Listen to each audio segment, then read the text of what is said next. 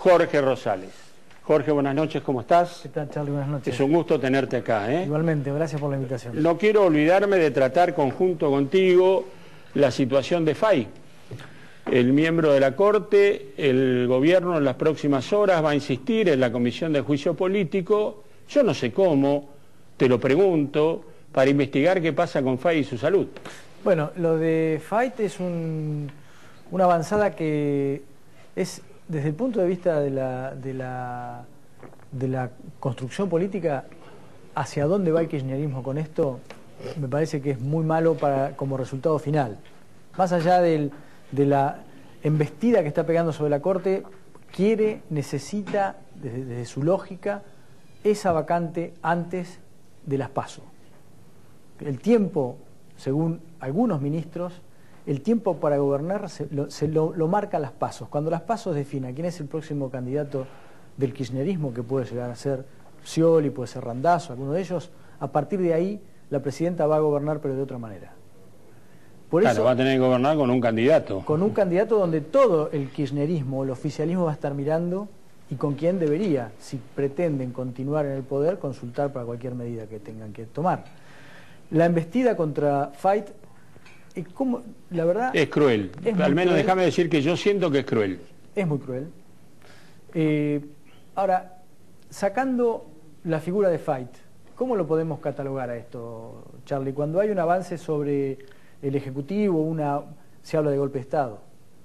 Cuando el Ejecutivo intenta controlar el Parlamento y lo disuelve, muchas veces hablamos de golpe parlamentario. ¿Qué significa atacar a otro poder del Estado? Bueno, por lo menos es una tormenta institucional, por lo menos. Porque más allá de querer el control, el tener la llave para poder proponer a alguien, hoy sabe el kirchnerismo que no cuenta con el número para imponer un juez de la Corte. Entonces, ¿qué hay detrás de esto? ¿Fracasó con Carles? Quizás, si tiene éxito, puede avanzar hasta donde pueda con esto del, del juicio político a Fight pero los números no le dan, no me equivoco, no le dan Los números. Entonces, ¿qué es lo que pretende con esto? ¿Sabes qué? Yo esto lo, lo se, creo que se puede marcar. Cuando el kirchnerismo ha hecho, se siente nuevamente en poder, que tiene el control, que creo yo que es lo que está pasando en estos momentos. Cuando uno analiza, ve, dice, puede ganar el, el, el gobierno, pueden retener el poder con el candidato que pongan. Eso es lo que están percibiendo hoy. Cuando ocurre esto, doblan la apuesta. Ahora, yo y digo... eso, Charlie, y cuando doblan la apuesta, el efecto es inmediato. Empiezan a perder porque la reacción es muy negativa. Ahora, es notable cómo el gobierno le pide a FAI una prueba de vida. Perdóname que me exprese en estos términos, pero le están diciendo que aparezca para ver si está consciente, inconsciente. A mí me dice que FAI en esto lo ha tenido muy enojado, que habló con Lorenzetti, esto lo publicaron en tu diario, en La Nación, pero dio un reportaje para demostrar que está vivo, una locura. y ahora que le piden una foto, una afirmación. Sí, este planteo de Aníbal Fernández de que tenga que ir a hablar con la prensa para demostrar que está en condiciones es un poco, es un poco mucho también. Hablamos con Sergio Bernstein. Sergio, ¿cómo estás? Buenas noches. Buenas noches, ¿qué tal? Bueno, revisemos la agenda. ¿Cómo lo hace esto de de Darío Justosi y la ruptura con Massa. Es un hecho obviamente muy importante, hay una secuencia obviamente de novedades en el Frente Renovador con otros eh, intendentes, el caso de Cariglino, previamente tuvimos el caso de Pose hace ya algunos meses, indudablemente el armado de Massa está curgiendo en la provincia de Buenos Aires, yo separaría el impacto electoral del impacto político. Electoralmente hay que ver si esto impacta o no, Darío Justosi era una figura eh, importante, pero no era el líder más, digamos, que medía mejor en términos de su potencial. No, era un hombre que le aportó primero el partido, el distrito, después apoyo y después fue una de las figuras públicas al lado de Massa del principio. claro, es un, el intendente, fue el intendente de Almirante Brown, es la tercera sección electoral, Massa era muy fuerte en la primera, en la zona norte-oeste del conurbano, esto era complementario y fundamental para su armado en las elecciones de 2013. Ahora como candidato presidencial veremos efectivamente cuál es el impacto que tiene en términos electorales. Ahora, políticamente es un hecho significativo, veremos cómo lo absorbe el masismo y qué pasa con eh, Justosi en términos de su realineamiento. Me parece que Es un hecho importante. Las otras dos campañas, eh, una vez más eh, estable, fortaleciéndose, y Massa tiene estos cimbronazos que hay que ver cómo Sí, lo hasta puede... el frente para la victoria trata de ordenarse. no, que no es un dato menor. digo. Bueno, y lo está haciendo de arriba hacia abajo, digamos, con el liderazgo de la presidenta. Ese liderazgo es incontestado en el Frente para la Victoria y lo que uno puede interpretar de eh, la actitud de Justosi precisamente es que está en todo caso cuestionando las formas, el estilo, el liderazgo de, Sergio Massa. Sergio, desde el punto de vista del impacto político, también ha, pasado un poco, no desapercibido, pero ha quedado en- marginado la decisión de Das Neves de también sumarse a la lista de Scioli en Chubut, es decir, compartir la lista con Ma- de Massa, pero también con Scioli. Esto políticamente también, ¿cómo, cómo impacta? Mira, Jorge, yo creo que las elecciones en Argentina uno las puede mirar del centro a la periferia, pero es mucho más interesante mirar de la periferia hacia el centro. Y las realidades locales tienen su lógica. Tienen, digamos, muchas veces procesos que son difíciles de comprender desde Buenos Aires. La verdad que el liderazgo del gobernador Bussi se ha desgastado mucho en los últimos tiempos eh, y frente a eso, la verdad que las Neves tiene la posibilidad de ganar, quedarse con un pedazo enorme del poder, recuperar el poder que había perdido en, eh, en Chubut y convertirse en una figura otra vez con cierto peso a nivel regional y probablemente nacional. Su vínculo con el kirchnerismo nunca fue malo, y en especial con Daniel Scioli. Recordemos que ambos, esto es prehistoria, formaban parte al final de los 90, la gente estaba con Palito Ortega. O sea, se conocen políticamente desde hace muchísimo tiempo y tienen buen vínculo, con lo cual lo personal muchas veces cuando el juego institucional está tan desgastado o son fuerzas gelatinosas como el Frente Renovador, pesa más que digamos las estructuras políticas, con lo cual yo creo que es natural que Las Neves busque asegurar su triunfo. Y no es el único, ¿no? Morales en Jujuy está Claro. haciendo lo mismo, ¿no? Exactamente, no hay pragmatismo enorme a nivel de los líderes locales, Cano en Tucumán, el caso de Mendoza pasó algo parecido. Lo Hoy- que ocurre acá que no es entre el PRO y el Frente Renovador, sino entre el Frente Renovador y el Frente para la Victoria. Bueno, esta semana va a estar la fotografía de Macri con Morales en Jujuy y eso puede ser un golpe también muy fuerte para, para Massa. Al mismo tiempo estuvo el video de Morales fortaleciendo en todo caso el lanzamiento de masa en cancha de Vélez. Yo creo que... Pero son- eso privilegia lo que vos dijiste. Claro. Piensan en Jujuy, piensan en Chubut, pero piensan primero en eso. Piensan también en alternancia en muchos casos. Jujuy es una provincia muy, muy justicialista, está gobernada por el justicialismo ininterrumpidamente. Morales busca ganar de alguna manera y la fragmentación de la oposición facilita efectivamente la sustentabilidad de estos liderazgos tan fuertes. Ahora, vos decías que lo ves ordenándose al Frente para la Victoria bajo el mando de Cristina Fernández de Kirchner. Así es. Digo, todo este congreso del otro día, todas esas cosas son trámites. Sí, sí, sí. Son cosas, cuestiones formales. A ver, la sede de calle Mateo, la abren para alguna foto O para un asado, pero no para otra cosa. Pero no hay vida política partidaria, ¿no? Eh, yo creo que el liderazgo de la presidenta está muy fuerte. Vamos a ver si hasta las paso o después también. Eh, y Bueno, una de las cosas que preocupa es esa transición, ¿no? La de la presidenta hacia el candidato. Y después de Antes y después de las elecciones. Claro, y después de la presidenta ya no. ¿Mm? Ahora, esto, eh, Sergio, ¿cómo, volviendo a Massa y, y el Sí, sí, impacto favor. político, el impacto político del Massa, eh, vos decís que todavía hay que verlo desde el punto de vista electoral, cuál va a ser el, el- el- el efecto, el, el impacto que puede tener. Pero ¿quién, quién, eh, quién gana más con un desmembramiento hoy del, del masismo? Sí, es que ocurre, ¿no? Eh, hay que ver qué es desmembramiento. Claro, eh, Massa dijo en la intimidad y públicamente que él iba a ser candidato a presidente y se iba a la casa si perdía. Así es. Que no se bajaba de eso. Así es. Eso Hoy, tiene hoy. No, bueno, quedan 30 días. Hoy Por 10 eso, de, hoy. 10 de mayo quedan 30 días, recordemos el calendario. El 10 de junio vence el plazo para presentar coaliciones y el 22 de junio hay que presentar las candidaturas. Hasta el 10 de junio hay tiempo para que haya algún cambio. La política tiene estos, digamos, estos vericuetos, con lo cual uno puede esperar redefiniciones, como sugería Charlie, en la medida que el Frente para la Victoria sea una fuerza que pueda ganar en primera vuelta, hay muchos segmentos en Argentina, incluyendo los candidatos, eh, que están evaluando posibilidades, planes B, ¿verdad? Eh, muchos creen que la PASO puede ser un punto de inflexión, independiente del resultado, el segundo más votado puede tener un bonus porque la gente que busca un cambio, que es predominante en Argentina, casi 60% de los argentinos buscan un cambio, votarían al que está mejor calificado y en ese sentido tal vez esa amenaza de triunfo en primera vuelta se diluya. Es una hipótesis, hay que ver cómo se comporta el electorado. Tal vez el riesgo sea muy grande, mucha gente prefiera que haya algún tipo de coordinación para evitar efectivamente este escenario. En la práctica, uno ve el voto de masa un predominio de gente de oposición, pero hay un segmento que es más peronista que opositor y probablemente la figura de Macri, que obviamente se corrió mucho hacia el centro, no es el Macri de hace 10 años, de todas maneras puede disuadir algún segmento de los votantes que pueden apoyar a Scioli. En ese caso, Scioli tal vez tendría en octubre o en segunda vuelta el porcentaje, Scioli o Randazo, ¿no?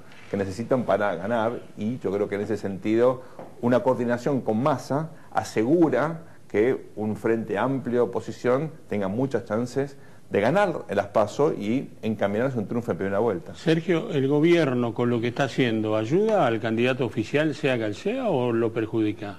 ¿Te referís a lo de la Corte? O... Lo de la Corte, lo del impuesto a la ganancia, la metida de mano en la paritaria. Yo creo que hay algunas cosas que efectivamente benefician, eh, por ejemplo, sostener el tipo de cambio, pase lo que pase. El, costo viene para después. claro, alimentar el consumo con anabólicos, todo ese tipo de cosas, por supuesto, son muy de corto plazo y favorecen al candidato. Otras, aquí hay un punto, Charlie, lo de la Corte. A ver, el segmento de gente que apoya al gobierno no es muy sensible a la institucionalidad. lamentablemente, no, hay que reconocerlo como un déficit de la cultura cívica en Argentina. Entonces, hay otras prioridades que son las que en todo caso generan las preferencias de este segmento, que acompañan al Frente para la Victoria. El piso de 2009-2013 fue el 30%, donde ya era evidente que había una concepción muy singular respecto de las instituciones, muchas veces con embestidas similares o peores. Entonces, no es novedad lo de Fight, evidentemente, simplemente yo creo que frente al hecho de tener que mostrar poder y buscar la oportunidad, ¿no? si el gobierno logra, el, yo creo que no lo va a lograr, pero si logras efectivamente otro lugar en la Corte, puede negociar con la oposición o con segmento del peronismo disidente, pero no demasiado, ¿no? Ahora, eh, eh, el otro día me decía, hablando sobre este tema de Fight, un, ministro me, comentaba que no muchos en el gobierno están de acuerdo con esto. Mm. Y la lectura que hacen es esto nos impacta, pensando en la elección de la Ciudad de Buenos Aires, de manera muy negativa. Así es. Eh, ¿Por qué, digamos, entonces la, pregunta es por qué el gobierno avanza más allá de, yo creo que no, si lograra sacar a, a de la Corte, no podría conseguir colocar un, nuevo ministro en la Corte. Pero neutralizaría la Corte, digo, ¿no? es complicado manejarse con tres. Ese punto. Dejaría la Corte Acéfala, no acéfala, digo, pero sin funcionamiento ejecutivo. Y con mayoría simple podrían lograr una ley que aumente el número de jueces de la Corte. Eso yo creo que ya es casi seguro, muchachos. Cuidado con eso. ¿eh? Yo creo que está redactado, que saldrá cuando la presidenta lo diga, que por más que la presidenta no aparezca ella firmando el proyecto, para ella va a ser un papelón. Así es. Porque la verdad que ella fue la de los cinco miembros, hizo una reunión con periodistas, la única que le conozco, para anunciarle a los periodistas lo de los cinco miembros. Hipótesis, Jorge, estrategia es lograr efectivamente esta ley con mayoría simple que aumente el número de jueces de la Corte, lograr que la Corte no tenga quórum, no funcionan los jueces, entonces desarticulas a la Corte. Y el próximo presidente tiene que nombrar jueces, el Frente para la Victoria del Kirchnerismo, si está en la oposición, va a tener un número extraordinario de senadores, probablemente 35, 34, 36, con lo cual va a estar en la discusión y la presidenta va a lograr su cometido y es influir en la designación de los próximos jueces. Yo creo que esa es la estrategia. Eh, una estrategia, esto es muy subjetivo y personal, no carente de un manejo del odio y del rencor muy importante. Te digo, lo que están haciendo con FAI, un prohombre del derecho, 97 años, que todavía puede, lo dice, yo supongo que sus colegas de la Corte no van a avalar una mentira en ese sentido, ¿no? Hay una crueldad manifiesta en ese sentido. Uno ha visto cosas similares del gobierno en otros, en otros casos. Yo hoy tengo una postura personal tal vez un poco eh, eh, polémica. Yo creo que alguien a, los 27 años tiene que estar descansando, por escribiendo sus memorias, con todo el respeto que tengo por el doctor Fight y por la gente grande. Digamos, ¿Pero avalás el camino que toma el gobierno? De ninguna manera. Lo que digo es, en un contexto razonable de un país institucional, institucionalmente Bueno, entonces despedilo con dos filas de jueces aplaudiéndolo y no lo quieras tirar por la ventana. Exactamente. Digo, que juez Fay tiene derecho a quedarse, no hay ninguna duda. Que se tiene que dar ahora por una cuestión contextual también. Mi punto es otro, mi punto es sentido común. Alguien, nunca no, vi nunca un juez de 97 años, llegué a ver de 2 de 90 en la Corte Suprema de Estados Unidos, no de 97. Ojalá que se quede hasta los 297 años, no digo eso, simplemente me parece que hay que contextualizar esta cuestión fight con un gobierno que ha embestido contra la Corte varias veces, que ha demostrado que no siente el equilibrio republicano como uno de los elementos centrales de nuestro orden institucional y que, digamos, ha hablado de golpe judicial, de partido judicial, hasta hace dos meses. pero cuando los jueces federales hicieron la vista gorda, el partido judicial para el gobierno dejó de existir. Por eso, es una, es una cuestión argumental, ¿verdad? Sergio, ¿por qué el gobierno recupera la centralidad en, la política? nunca, la, nunca la abandonó. Nunca la abandonó, pero ha, tenido tiempos donde ha, quedado claramente a la defensiva. Hoy está a una, una ofensiva muy fuerte. ¿Con qué comparamos? comparamos con otros gobiernos democráticos. Y yo creo que las comparaciones son siempre importantes y al mismo tiempo otra vez hay que contextualizarlas. Lo más importante aquí es entender que el tamaño del Estado en Argentina nunca fue tan grande. Tenemos un Estado inédito en su magnitud. Y el presidente, como titular único del Poder Ejecutivo, su unipersonal, tiene debajo esa estructura increíble, 76% del gasto público está en manos del presidente, en muchos casos con recursos discrecionales. Entonces, este esta presidencia es infinitamente más grande que las anteriores. Después es una cuestión de personalidad de la Presidente, que también es importante. Es una persona muy fuerte, con mucho carácter, resiliente, que aguanta los embates, que se recupera rápidamente. Después es cierto que ese poder la, termina debilitando, ¿no? porque no tiene límites. Pero la mezcla de recursos económicos, el poder del presidencialismo en Argentina, que es extraordinario, y la personalidad de Cristina, creo que explica por qué tenemos esta recuperación. Y al mismo tiempo es un país que es mucho más democrático de lo que lo fue históricamente. No hay actores políticos relevantes que sean, digamos, extrasistémicos, que quieran debilitar al gobierno, obstaculizar sus funciones. Todo lo contrario. Hay esta cierta ingenuidad en los líderes de oposición, que son muy cooperativos. Entonces, la combinación de estos elementos te explica por qué el gobierno mantiene tanta centralidad.